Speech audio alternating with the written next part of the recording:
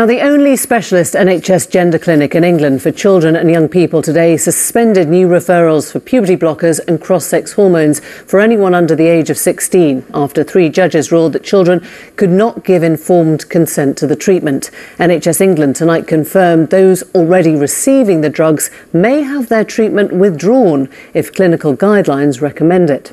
The landmark judgment against the Gender Identity Development Service at the Tavistock and Portman NHS Foundation Trust means that in future treatment with puberty blocking drugs will only be permitted where a court specifically authorises it.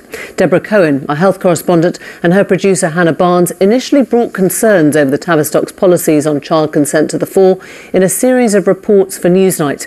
They have this report on the judgment today.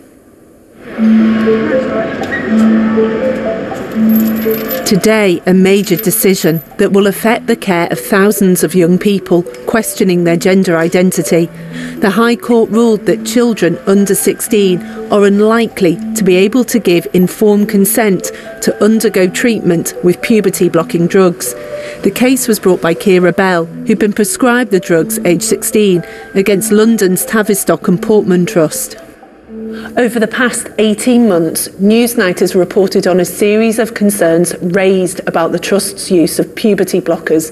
We've also reported on the challenges some clinicians said they had in raising questions about the care some young people received at the Trust's Gender Identity Development Service, England's only NHS service for young people questioning their gender identity. At the heart of today's ruling is the role puberty blockers play in a young person's treatment. The court found there is real uncertainty over the short and long term consequences of the treatment, with very limited evidence as to its efficacy. This means it is, in our view, properly described as experimental treatment. But what is the purpose of the drugs? The Tavistock and others have long argued that puberty blockers allow a young person time to think about their gender identity without the added distress of going through puberty. But the judges questioned whether it was that straightforward. The court also went further, rejecting the Tavistock Trust's argument that the decision to take puberty blockers was entirely separate from the next stage of transitioning, the use of cross sex hormones, testosterone for girls or estrogen for boys. The court said The evidence that we have on this issue clearly shows that practically all children and young people who start puberty blockers progress on to cross sex hormones. So, what does all this mean for informed consent? The available evidence suggests that starting puberty blockers would likely mean a young person would then go on to take cross sex hormones. Would a child under the age of 16 fully understand the implications of this on their bodies in the long term? In effect, the court said no. It said it was doubtful informed consent was possible for under 16s, and even for those who are 16 or 17, it would be appropriate to involve the court where there is any doubt treatment was in their long term best interests. There is no age appropriate way to explain to many of these children what losing their fertility or full sexual function may mean to them in later years. In this ruling, there are no winners. As of today, there will be no new referrals for puberty blockers for under 16s from the Gender Identity Development Service. And tonight, Newsnight has learnt that GIDS will have to review all current cases of children under 16 who are on blockers and get a court order if they wish to continue treatment. But for the thousands of children waiting to be seen by the clinic, it's unclear what help there will be for them.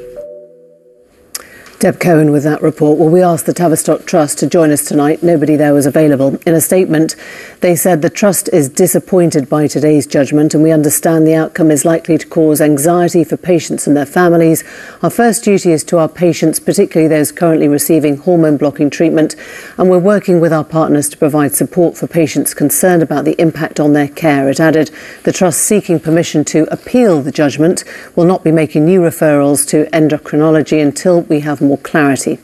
Joining me now is one of the claimants in that case, Keira Bell, um, who won the case today. Keira, for those who don't know you, just outline your own story for us briefly.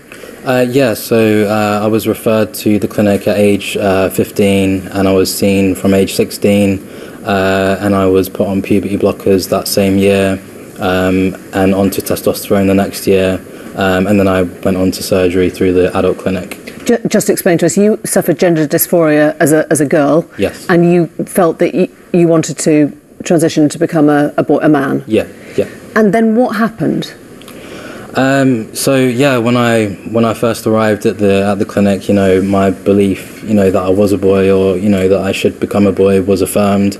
Um, you know, there was no investigation into why I had those feelings. You know, it was it was pretty much accepted from the get go, and you know, um, yeah, medical interventions were um, spoken of quite quickly. So you went ahead. You had you had the blockers. You had surgery, mm. and then you decided that that wasn't the right course for you. Yeah, yeah. Um, just realizing, I think that a lot of it isn't based in, uh, you know, it doesn't have scientific um, evidence behind it, um, you know, and, and just realizing that, um, you know, it's not a healthy route to go if, you know, I can, uh, you know, if I don't need to continue on with it. So, I mean, it's, it's incredibly personal, it's very sort of use yeah. specific, but in your case, you felt that what they, they had let you have access to the drugs too quickly yeah. Is that right? Yes. And that you should have been denied that because you, you weren't making a sound judgment? Yeah. Yeah, that's right. I, I was dealing with a lot of other mental health issues also, um, and you know, a lot of um, past issues that hadn't been brought up, or again, it wasn't investigated. So, um, yeah, there, there's always a lot of issues going on behind the scenes. Uh, you know, definitely in my experience, and I think um, you know, with the current kind of um, you know trend that we're seeing of, of young girls uh, being referred to the clinic. I guess th- this judgment would stop them handing out the the treatment mm. straight away or after a, a short amount of counselling. But if you, you know, as an articulate young woman went to the court and said, I really mean this and I'm serious about it, mm. there's every chance that the court would still have allowed you to do something which you would later regret, isn't there? Um, I, I wouldn't say so um, because you know they, they would have actually looked into uh, the reasons you know why I, I wanted to uh, proceed with the treatment, and you know I'm sure that the mental health issues and everything that should have been discovered at the Tavistock would have been brought out in the courts. There will be thousands of young people tonight who will be terrified by this judgment, as you know, terrified that this will stop them living the life that they need to, be incredibly distressed because something that didn't work for you may still work and be very important to them. Yeah, I mean, I think when we're dealing with the topic of mental health, you know, obviously emotions will be running high, and I understand that. You know, um, I would have been in the same position, perhaps as you know, you know, someone, uh, you know, age 16, for example, um, you know, listening to you know what happened today.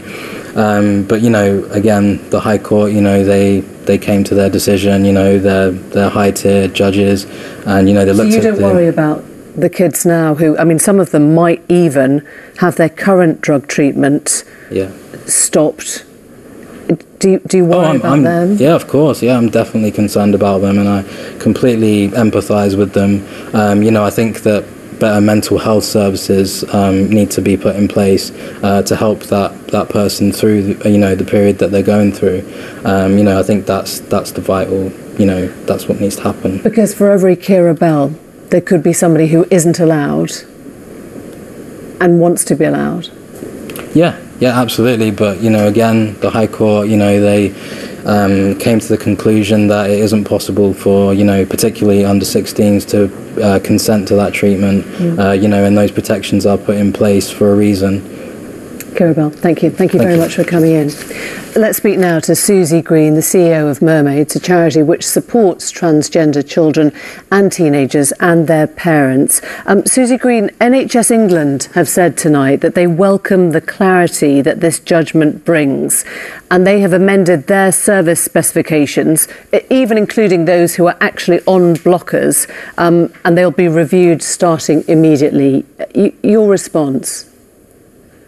I think it's a disaster, quite frankly. I think this is um, ushering a new era of discrimination against trans people.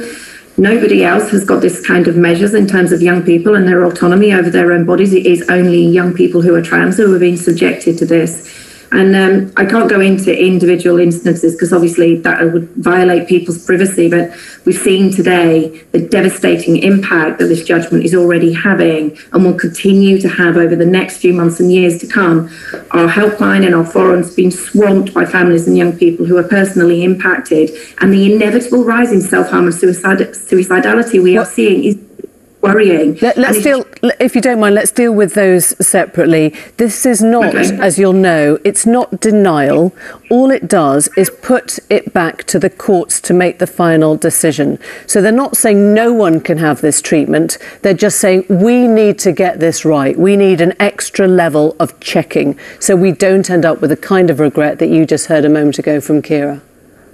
Yeah, but you've got to appreciate that, that Keira's experience, although obviously valid, is not representative of the vast majority of people who go through this process. There's less than a 1% regret after transition. Are we saying that it's so much better not to be trans that we'll sacrifice the happiness of those 99 trans young people who need this treatment? I guess what avoid- we're saying is that the court weighed up thousands of pages of evidence. They took those views into account. They heard from young people, three GIDS patients who were submitted by the Tavistock. They've done their homework on this and they think more protection and more guidance for young people is used with these highly unusual, innovative drugs that they know very little about.